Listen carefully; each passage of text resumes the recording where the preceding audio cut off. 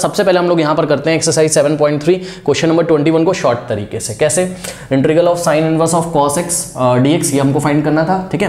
तो cos x को बच्चों आप क्या लिख सकते हो? कॉस थीटा क्या होता है? साइन 90 माइनस थीटा अब देखो यहाँ इनवर्स टेक्नोमेट्रिक फ़ंक्शन हम लोग पढ़ के आए तो बाहर साइन इनवर्स है तो अंदर भी साइन होना चाहिए तो इस कॉस एक्स को आपने क्या लिखा? इसको आपने लिखा sine pi by two minus x क्योंकि हमको पता है क्या?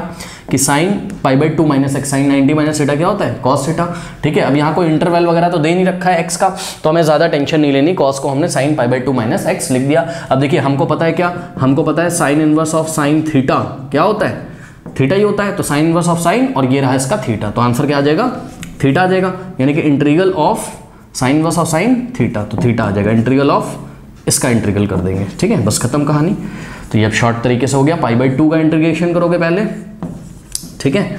और फिर x का करोगे। पाई बाई टू का इंटीग्रेशन क्या हो जाएगा? पाई बाई टू को pi by two into one लिखोगे। पाई बाई टू आ जाएगा बाहर और integral of one d x minus x का क्या होता है? एक्स स्क्वायर बाय टू और एक प्लस सी लगा दीजिए। हालाँकि अभी इसका नहीं किया बट कर लेते हैं। वन का होता है एक्स तो क्या हो जाएगा? पाई बाई टू आई की वैल्यू अभी pi by two into x minus x square by two plus c तो इस तरीके से भी इसको हम शॉर्ट तरीके से कर सकते हैं, ठीक है? अब लेते हैं बच्चों बोर्ड एग्जामिनेशन में आया हुआ 2014 में क्वेश्चन आया था। इंटीग्रेशन ऑफ़ साइन की power six x plus cos की power six x whole divided by sine square x into cos square x d x चलिए, इसको आप सॉल्व करिए फटाफट। जब ना आए तो आप सॉल्यूशन देखिएगा, ठीक है?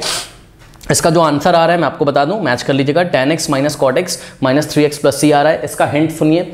आपको फॉर्मूला पता है ए प्लस बी का whole cube is equal to a cube plus b cube plus three a b in the bracket a plus b तो यहाँ से आप a cube plus b cube की वैल्यू निकाल लीजिए, ठीक है?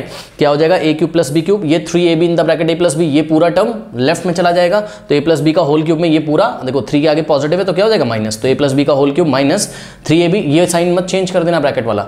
Minus three a b in the bracket a plus b ये किसकी वैल्यू आ गई a cube plus b cube की। तो ये वाले फॉर्मूले की हिंट से आप इसको सॉल्व करने की कोशिश करिए।